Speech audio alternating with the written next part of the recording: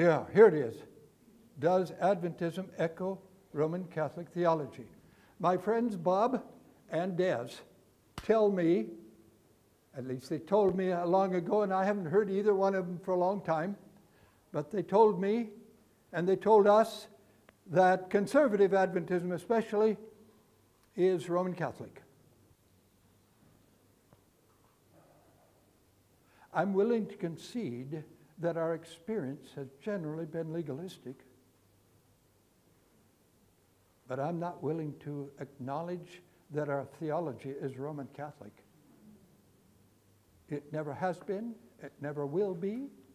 They are worlds apart, and I'm prepared to share with you the evidence for it tonight. And I would like to say this does not take us off the hook we've been on for 125 years and more before that. We still need to understand and have an experience that frees us from the legalism that is inherent in all nature, human nature. And let me tell you something. I will not try to demonstrate it, but I can share with you plenty of evidence that the other side, the liberal side, whatever you want to call it, is also legalistic.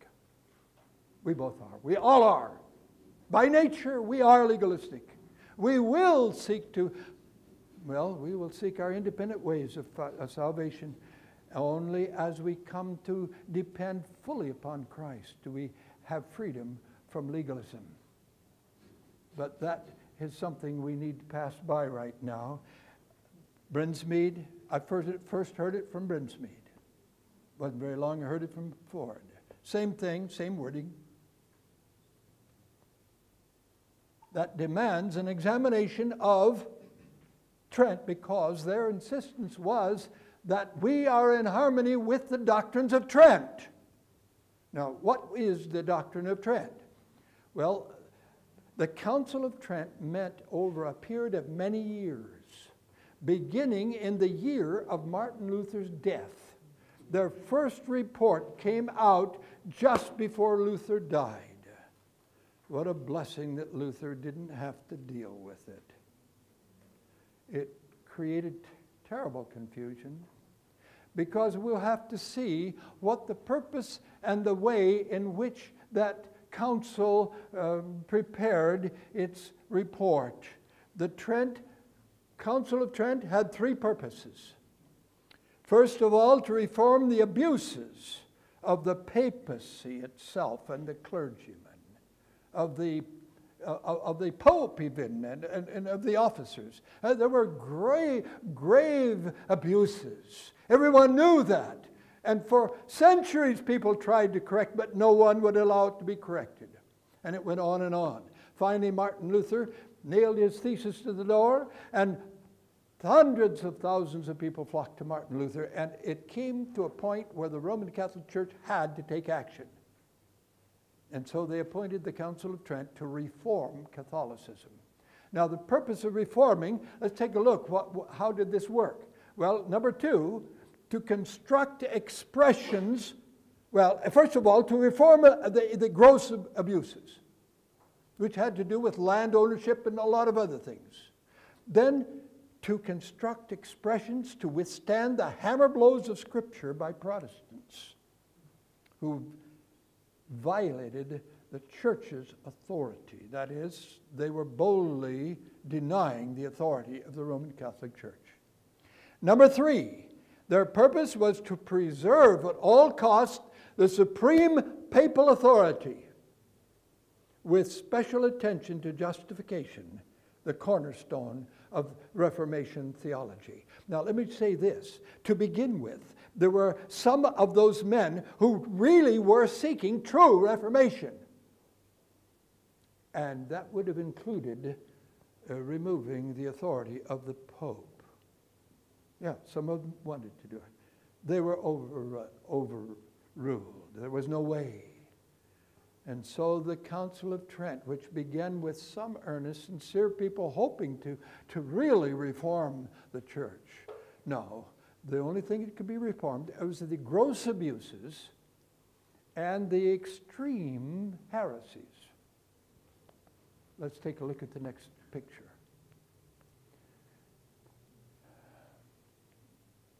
Trent's methodology to intensify Protestant conflict by pitting the free will views as in such a way that, okay, first of all, free will versus Calvin Luther. Luther. Now, in another night or two, we'll have to be talking about that because Calvin Luther should not be a hyphen. They, their positions were not the same. But this is the Reformation, I should say, the review of those who claim Reformation theology. And I call that reformist theology because it is not true Reformation theology. When Des Ford talks about Reformation theology, he is talking, we're going to find out, he's talking about ultra Lutheran theology, which came in through, now I've given you the secret.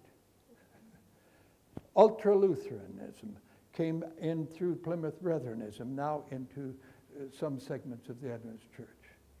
But, brothers and sisters, don't, don't think of Luther as being. And even Calvin, the two were different and they had both problems, but the theory and the views of Des Ford don't follow either one of them. They follow some elements of both of them, but they were not the same either.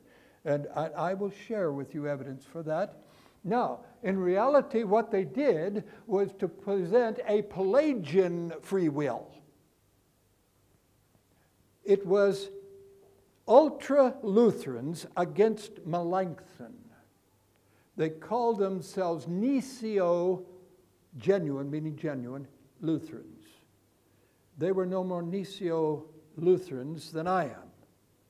Well, they were closer to it in some ways, but certainly they were not Gnesio. That was not the genuine Luther. Definitely not. They called themselves Gnesio Lutherans, and they went to war against Luther, uh, Melanchthon. Now, Melanchthon and Luther were very close. They were bonded personally and, and, and spiritually and theologically. Melanchthon was the one who was helping Luther with some of his problems. You see, Luther was a mystic. It was difficult for Luther to get away from the mysticism of Roman Catholicism, which comes from paganism. Mysticism is a pagan uh, thing, but channeled through Catholicism and, and then, of course, into Protestantism.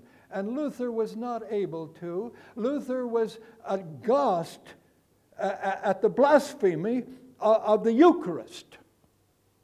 Because the Eucharist, they claimed that the priest, by mumbling certain Latin words, transformed the bread into the body of Christ and the, uh, and, the, and, and the grape juice into the blood of Christ. Luther said, Oh, that's horrible. That's a part of the decretals of, uh, uh, uh of uh, what are the, I can't remember the wording now, but anyway, the, of the dunghill of Roman Catholic, Roman Catholic um, heresies. Luther wouldn't go along with that. But Luther was a mystic. And Luther was certain that the body of Christ was really present because the Bible says, Jesus said, This is my body. He handed them the bread. He said, This is my body. He handed them the cup and he said, This is my blood. And Luther couldn't get any farther than that. And uh, his co reformer from Switzerland, Tell me what it is. Zwingli. When Zwingli read those same words, he understood that to be a symbol. After all, Christ had his own body right there, hadn't been crucified yet. He was handing them bread. His body was here, the blood flowing through his veins. He was not giving them some mystical concept of unreality. And uh, Zwingli recognized that. But you know what? Luther wouldn't even shake hands with him because he was an agent of the devil, because only the devil would deny the literal, physical presence of Christ. And so Luther called it consubstantiation instead of trans. You see, trans means to transfer from one state to another. transsubstance, substantiation, transsubstance, changing substance. It was bread and wine. It now is the body of Christ and his blood. Luther said, no, no, no, no, that's impossible. But Luther did believe when the Bible says, This is my blood, this is my body. And when he, it took a long time for his disciples and Zwingli's disciples to bring them together. Zwingli was eager to come together with him, but Luther, no. And finally, they convinced him that they must have a conference, and they did. And all Luther could do in response to uh, Calvin's evidence uh, that this was actually symbolic rather than literal, all he could say is that Jesus said, This is my body. And if Jesus said, This is my body, it was his body. See, that, that's mystical, you see. It, it's mysticism from, borrowed from paganism, transferred through Catholicism. And of course, Luther was a strong mystic, a wonderful man. But let me tell you something. Uh, God is so merciful when he judges us. Luther was doing the best he could. He didn't have all the light. He did the best. And by the way, his concept of justification wasn't completely mature. And uh, you can see that because uh, he made statements that seemed to contradict each other, and, and there was no way to reconcile them. They did contradict each other. But ultra Lutherans took his extreme statements and made that the norm. But Luther made many statements that would deny their concept of the norm. Luther was a mystic, but he, for the most part, taught principles of justification that we can accept, but not through Gnesios. Gnesios declared war on Melanchthon, and they fought him until he died. And when he died, he expre- expressed the fact that he was eager to be uh, free from the attacks uh, uh of, of the Nicene Lutherans. I better look at my thing here and follow it or we'll never finish tonight. Tulip. What does tulip mean? Huh? Uh, I hear voices, but don't hear any words. Uh, this is the Calvinist position. What does T, T stand for? T stands for uh, uh the fact that, uh, that uh, and by the way, I, if I get visit with this thing and my files close on me, I'm going to be in real trouble. I may need some of your help. Uh, but uh, this means that, the, um, that, that, that everything we do is tainted by sin. And that's not the word, but can't say the word. Huh? Total depravity. Total depravity. Yeah, total, total. Thank you. So I couldn't even think of the word total. Uh, so I really am kind of hopeless. Total depravity does not mean, he did not mean that everything we did was absolutely evil, but everything we did was tainted with sin. Was he right, Calvin? Yeah, yeah, yeah, he was right.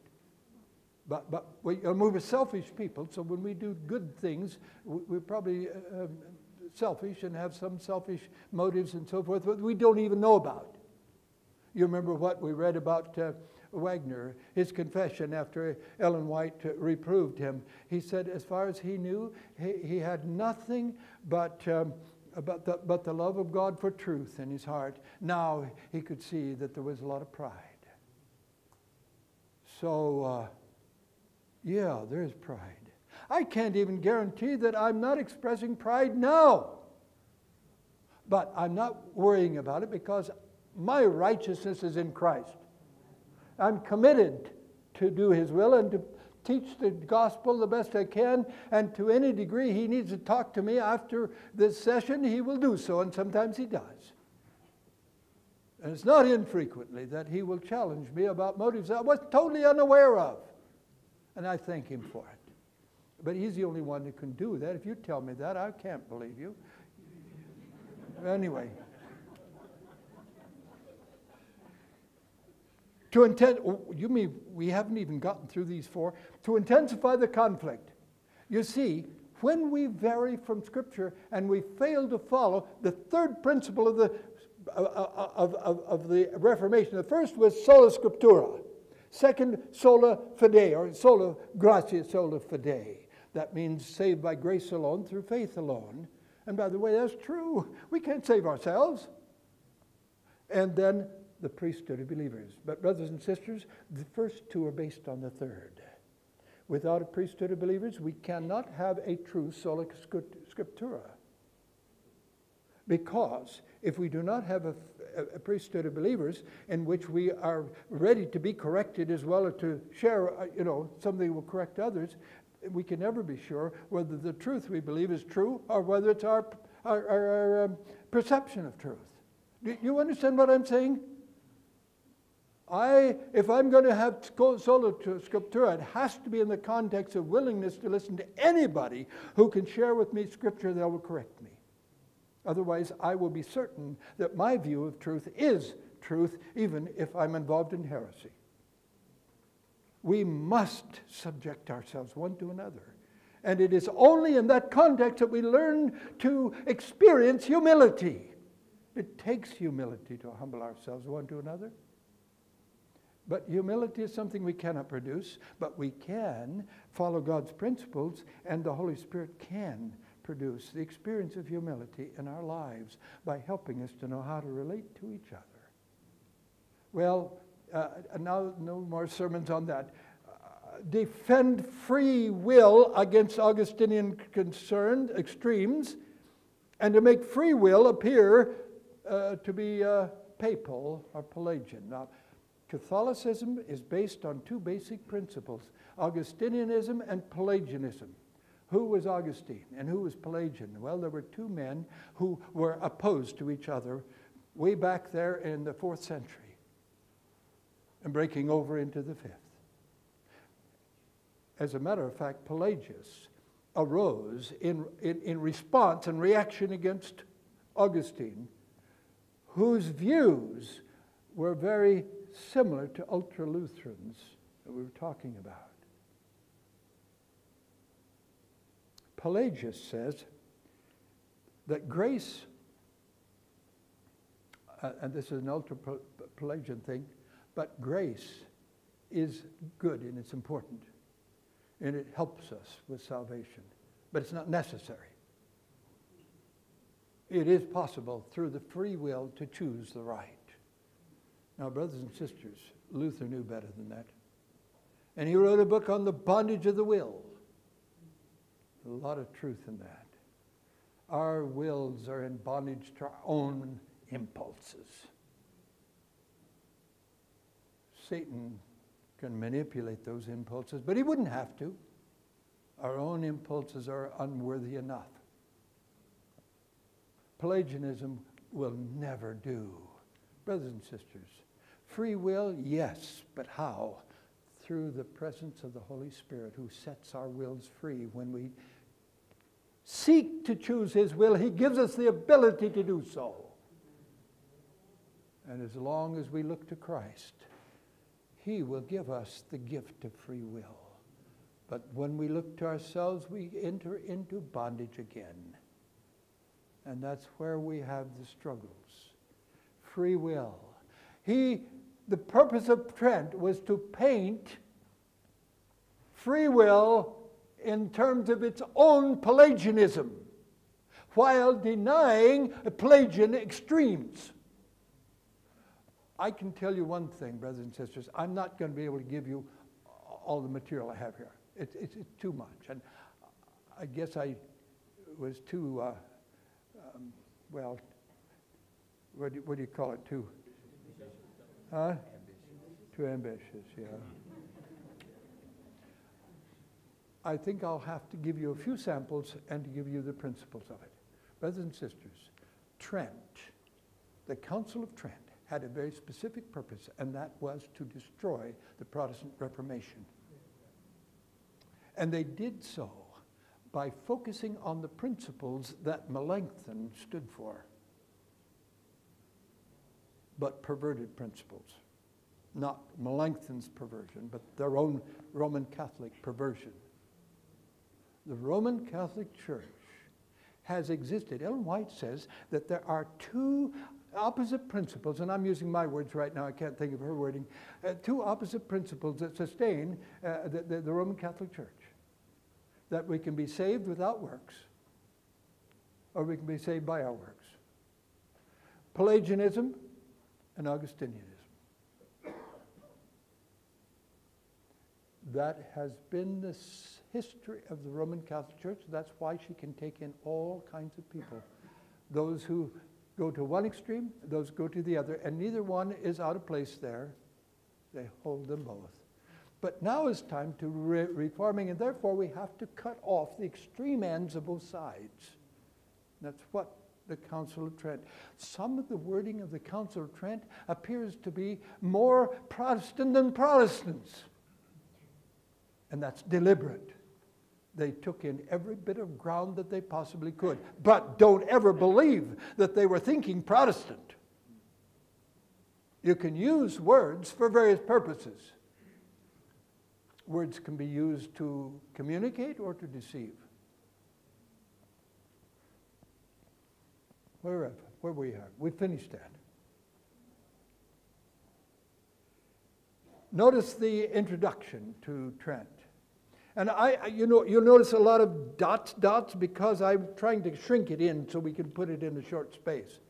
But I can tell you that I have attempted to make sure that I did not in any wise uh, um, leave out anything that would change the meaning.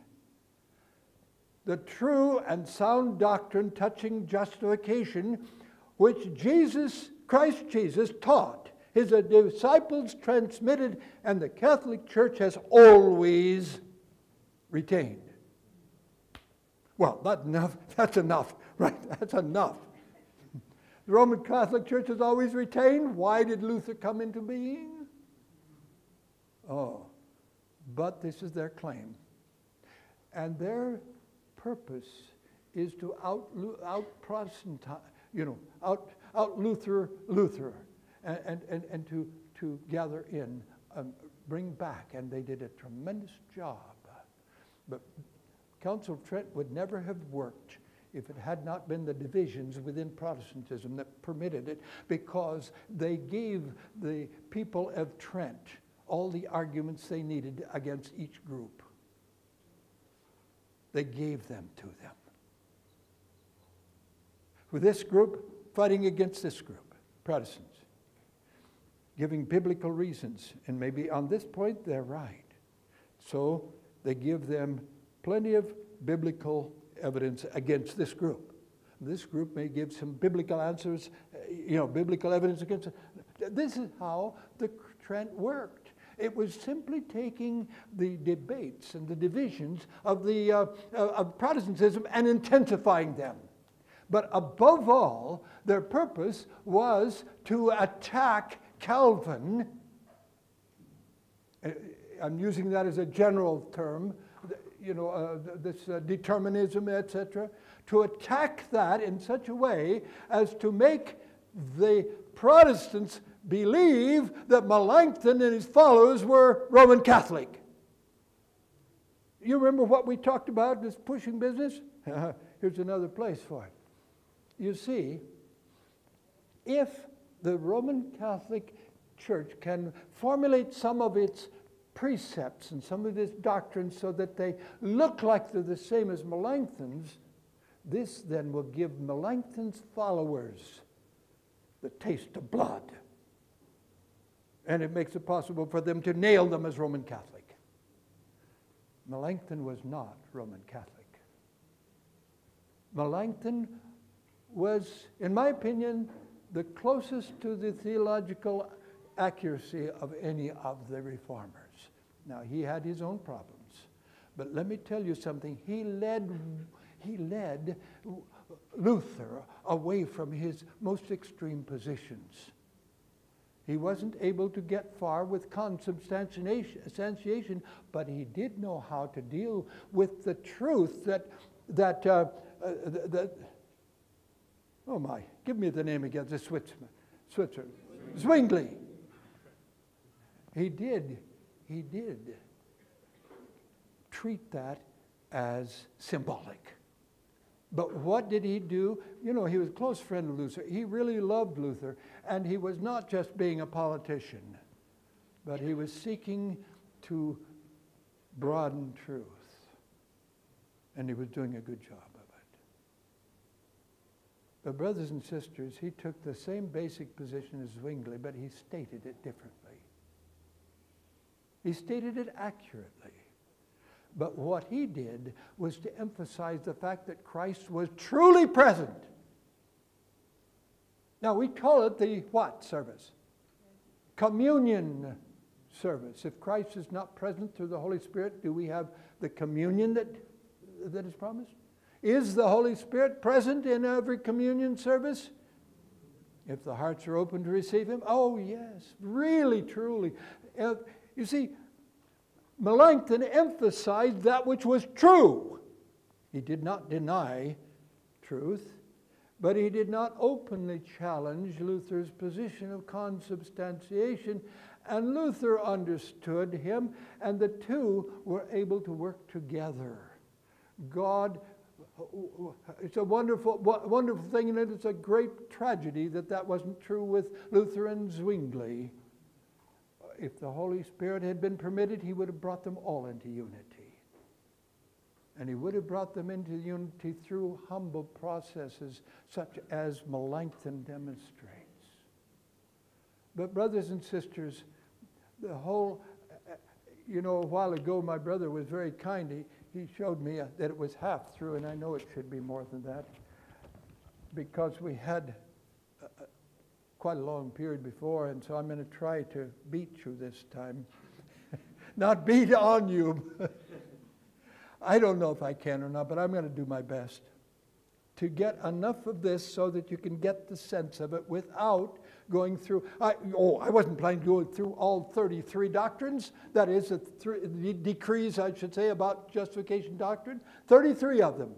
I picked about um, seven of them, and I was going to go through but I, I don't think I will be able to.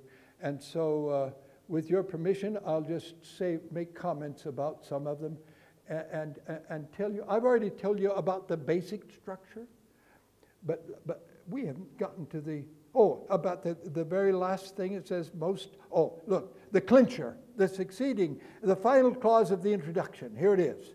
Most strictly forbidding. Oh, now we're taking uh, real authority most strictly forbidding that any henceforth presume to believe, preach, or teach otherwise than is by this present decree defined and declared. And I got the is in the wrong place, but you understand.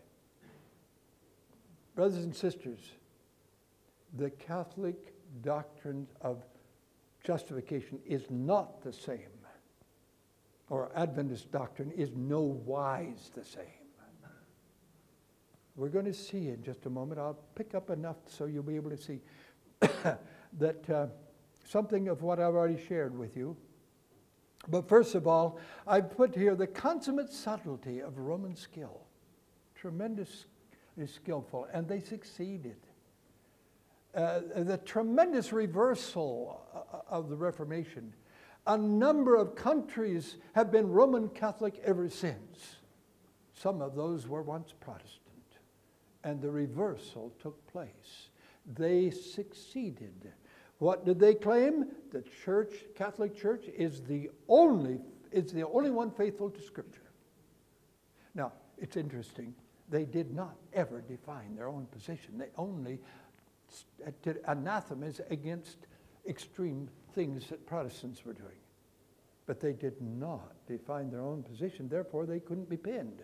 You understand what I'm saying? So they're left dealing with the extreme.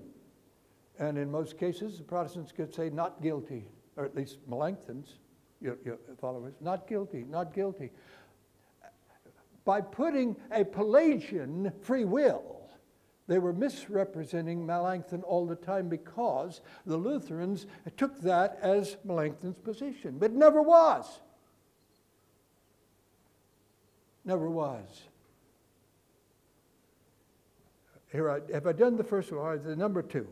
Roman Catholic Church is the only official and sole interpreter of Scripture. Now, is that sola scriptura?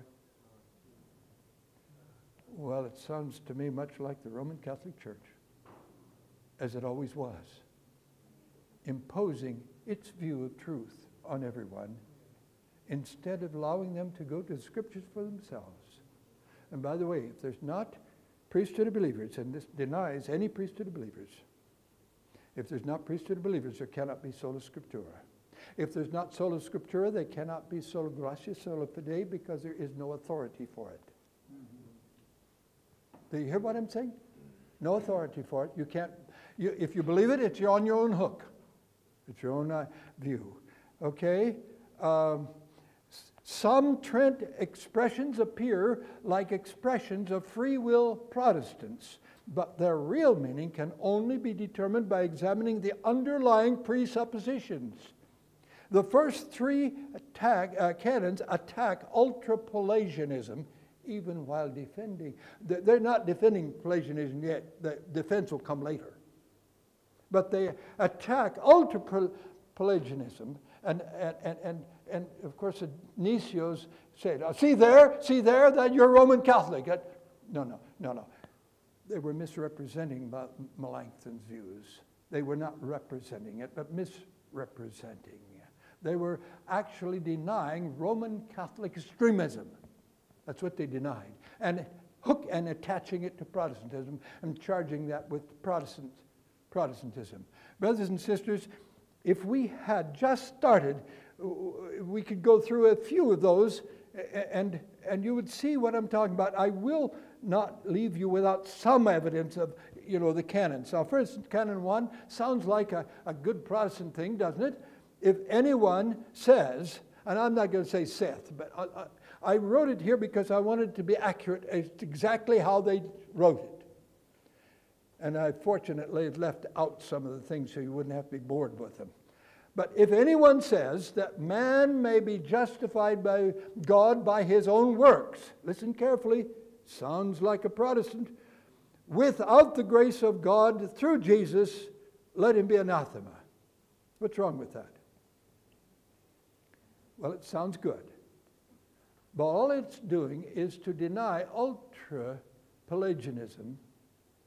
It is not denying Pelagianism. This seems to take justification by works charges right out of the Protestant mouths. But it only attacks Pelagian extreme. I guess I just said that, didn't I? Justification without grace, which was anathema to free will. Well, brothers and sisters, number two, if any man says that the grace of God through Jesus is given only that men may more easily live justly and merit eternal life, as if free will without grace he were able to do both, though with difficulty let him be anathema. It only touches the extreme Pelagianism which I said a while ago. Extreme Pelagianism says you don't really have to have God's grace to obey. You can do it, it's hard, it's difficult.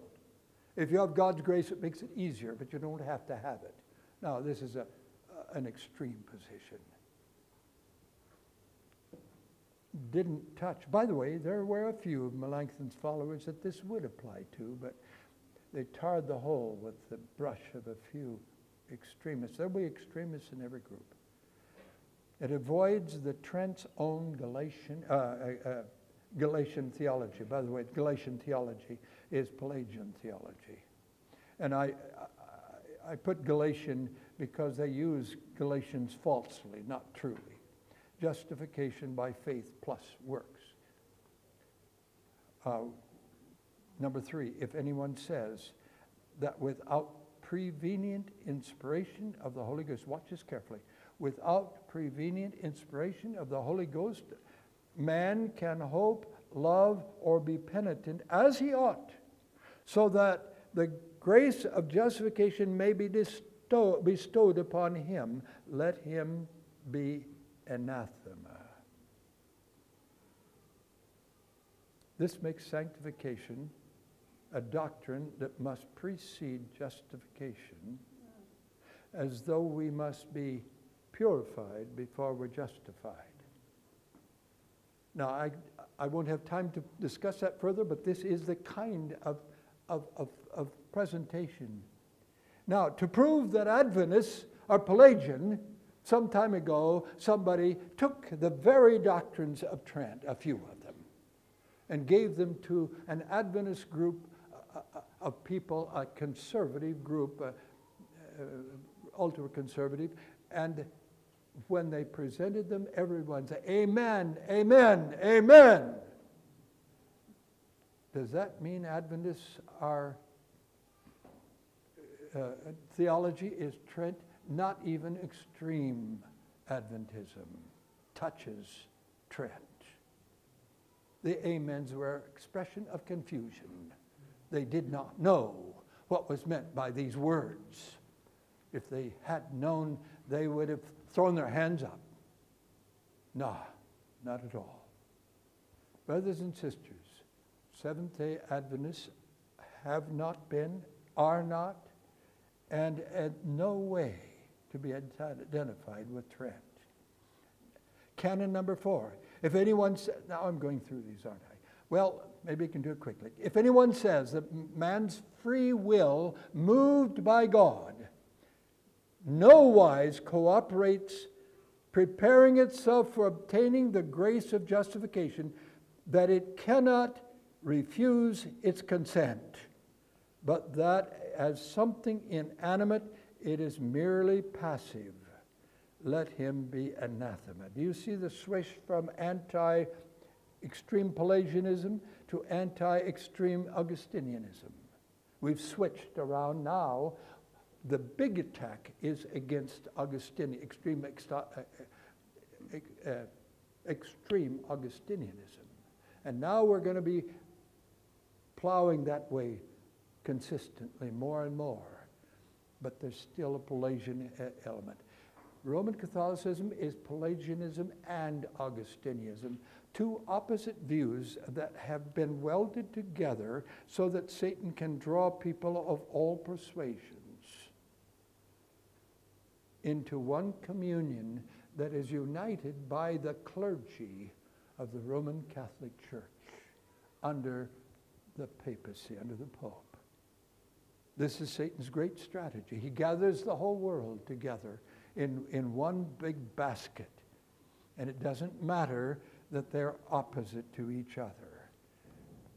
Canon 5 If anyone says that since Adam sinned, the free will of man is lost, or and extinguished, or that it is a thing that with only a name, without a reality, introduced into the church by Satan, let him be anathema. Now that's attacking uh, ultra Calvinism. But it does not touch Melanchthon free will. It has nothing to do with it.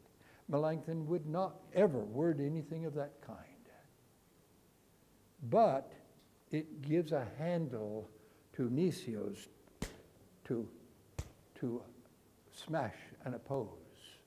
And I think it's next lecture where we're dealing with that. This is a clever strike against the Calvinists and Gnesios that made Phillips, Philippists vulnerable to the charge that they reflect the Council of Trent. Canon 6 If anyone says that it is not in man's power to make his ways evil, dealing again with extreme Augustinianism. If anyone says that it is not in the power to make his ways evil, that the works that are evil, God works as well as those that are good, not permissively only, but properly, as Judas as well as Paul. In other words, Judas couldn't do anything else because God predetermined his role. Let him be anathema. Well, again, it doesn't touch either side, really, but it takes the extremes of Roman Catholicism itself and brands it, by, by default, brands it as Protestant. Since I say it's a valid charge, Calvinists and Gnesios do make God responsible for evil deeds as well as righteous. Judas and Paul are equally prisoners in that theory of unalterable decrees. Well, the first three destroy Protest- the Protestant confidence in free will by associating it with Pelagianism. And here we get it back to tulip. Did I ever talk to you? Uh, it, yeah, to begin with,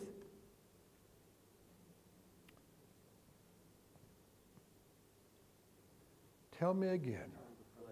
Total. All right, thank you. Total depravity and unlimited grace and uh, limited atonement. Ah, notice that unlimited grace, but limited atonement. And then irresistible grace. I, irresistible grace. And P, the, the perseverance of the elect, guaranteed. What you need to know is whether you're elect or not. If you're elect, you can just forget about everything because you can't be lost. But if you're not elect, you can't be saved. Brothers and sisters, this tulip is the very, uh, this, is, this is Lutheran language, ultra Lutheran language. This is the language of most evangelicals today. It is once saved, always saved. You understand what I'm saying? And most of those letters are false. There is no such thing as limited atonement. When Christ died, he died for everyone, not just for elect. And there's no such thing as absolutely guaranteed. Um, I'm sorry, I've lost the, the P. Perseverance. There's no such thing. There's a perseverance by continual choice to receive the reproof of the Holy Spirit when the Holy Spirit shows us where our departure from the principles of Christ, then we rejoice that He has spoken to us and we immediately claim it and thank God for it. And for everyone who chooses to do such, there is absolute certainty because Christ is our atonement. If we have Him, we have atonement. But we don't have it because we had Him, but because we have Him present tense. Somebody asked me before the meeting, are we saved or are we going to be saved? And uh, the answer actually is yes, if we understand both statements. We are in a saved position as long as we're in Christ. But it's our choice. You see, we're, the probationary period is given. Nobody's judged until the final end. And even if I'm a drunk and, and, and, and in a terrible state, God does not judge me while I still have life. The judgment comes at the end of the world. But if I'm out of Christ, I'm certainly not saved. And if I'm in a drunken stupor, then I'm out of Christ. Do you understand what I'm saying? But if I choose to look to Christ, he will, re- he will save me from drunkenness and from whatever else. He will bring me into himself and I will there be saved. Always saved? No. Saved in Christ. Those that are in Christ Jesus. He that has the Son has what? Life. life. He that has not the Son of God has not life. As long as I have the Son by faith, I have life, and if I do not have Him, no matter what my past is, no matter how wonderful my experience has been, if I do not have Him, I do not have life because life is in the Son. And we have life in relation to Him. Well, that's the tulip thing. Uh, merit all the way through. And by the way, I'm not going, I'm not going to go through these because I can't because I'll get stuck in them. But one after another emphasize the necessity of believing in human merit. That means that I merit salvation. It is not that I receive Christ's merits, but that I also merit. I think it would be wise at this time for me to just kind of sail down to the very end. And uh, I see my brother nodding his head, yes. He knows what's best. Here is number 30.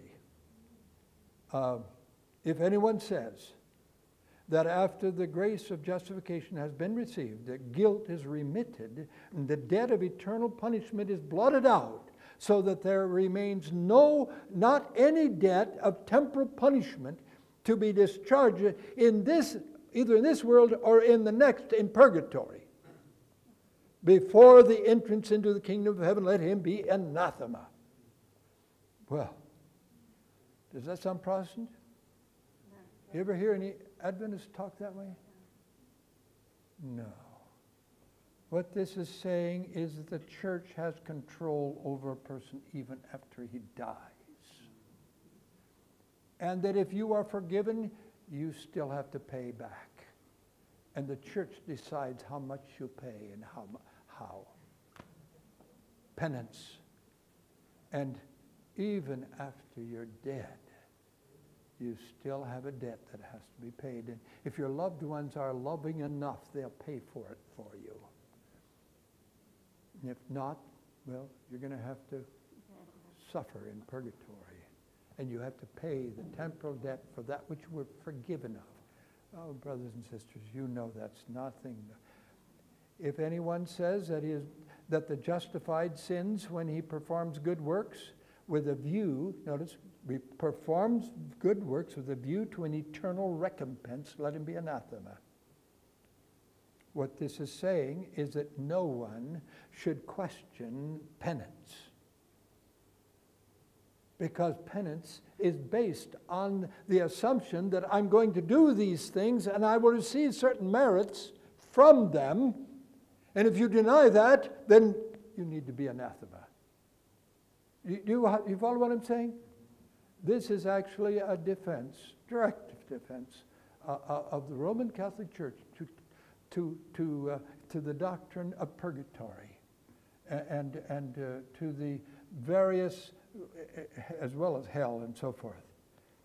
Well, that's 31. Here's 32. If anyone says that the good works are not also the good merits of him that is justified, now notice, if the good works are not also the good merits of him that is justified, or that the said justified does not merit increased grace and eternal life. And the attainment of that, and, that, and the actual attainment of that eternal life, which you see, there are two different things in Roman Catholicism. You might have merited it, but you can't attain it until the Roman Church says you've finished your temporal debt. You see the difference in that? If this is and also an increase in glory. Oh, what's the Minneapolis message? To humble in the dust the glory of man. But if that's the case, then let him be anathema. Brothers and sisters, the Roman Catholic Church could not exist except for the doctrine of merit and the doctrine of the Eucharist. The Eucharist, in which the Roman Catholic Church produces Christ And it is the requirement to participate in that at a certain regular basis in order for you to be forgiven and so forth. If it were not for the priesthood confessional and the Eucharist and penance, the Roman Catholic Church, the papacy would dissolve. The papal power is based upon that.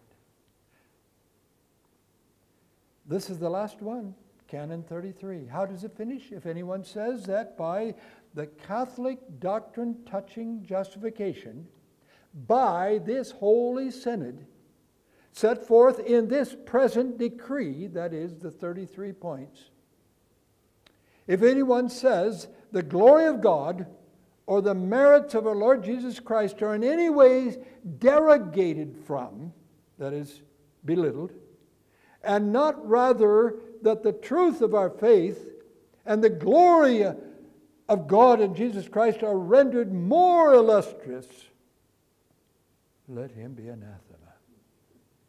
If you do not believe that all of these decrees are true, and that following them will enhance your merit, etc., and let him be anathema. This is the Council of Trent. This, these are a few of the doctrines of Trent. Brothers and sisters, I want to conclude by an appeal. I don't, yeah, okay. I'll, I mean, this is, this is important. There's a consistent thread from all 33 decrees, and they're called decrees. And they're decrees of a church that cannot err, and a church that has the salvation, claims the salvation of all the people. You can only be saved through the church because the church has the merits of Christ to dispense to you, and you can't get them otherwise. Both Pelagian and Augustinian extremes are castigated, cut away, in a way to defend the principles of both Pelagius and Augustine. The crucial bond is human merit and papal authority, based on and empowered by Augustinian doctrines of original sin, the Eucharist, the penance, immortality, and eternal hell, infant baptism, and purgatory. Pelagian merit thus enforces Augustinian heresy. Now, this is the last one I remember. Conservative Adventism. Uh, is it true? Yeah, I have one more. Conservative Adventism does lack the Minneapolis insight, which leaves us in a, in a legalistic lean. We're not legalists by theology, but we don't have a theology that will remove legalism. Do you understand what I'm saying? We, we, we have not, we've been too bound by the, uh, uh, you know, by justification, past sins, sanctification, the present, leaving the future under, uh, uh, uh in, in doubt. Because we never know. Even if we are sure that we're forgiven, we never know if we're accepted in the present. That's not biblical truth. No, no Adventist believes in that. And by the way, I'm, I'm going to pass this by. I wanted to read this last one. Our experience becomes legalistic unless we claim Christ's righteousness by faith and live by faith in him. And that proves that that's the last one. Brothers and sisters, I appeal to you tonight, and I, am sorry, we, you know, the question and answer to period took a whole session. And by your grace of remaining here, I've had the privilege of going through this, and I hope it's been worthwhile. It's a very technical session that we've just had, and I want to close it by appealing to you to believe that God gave us a message that corrects legalism, that corrects antinomianism, and that focuses our minds on the one in whom we are saved. And I would like to say, I hope every one of you leave this, this auditorium tonight claiming Christ's righteousness. And you can do it now. You don't have to wait until you've gotten your house in order. You'll never get your house in order if you wait for that. I tried eight years long. And by the way, I've had a lot of things to learn since then, but I use that as the basics. That's where I got the first real understanding uh, of, of justification. I had to find more about sanctification. I'm still learning. I'm still having to learn because I've never learned anything adequately. I keep forgetting. And uh, you, you, know what I'm saying? I, I never forget it. But, but, but somehow it's not present with me adequately. And, and, and I act in, in ways that are not in harmony with my understanding because I can't always focus adequately all the time, but I don't have to to be saved. But I do have to learn that constancy in order to glorify God and be a part of that latter rain, which will only fall upon those who can be trusted never again to look to self. And that's what's really involved in the sealing. Shall we uh,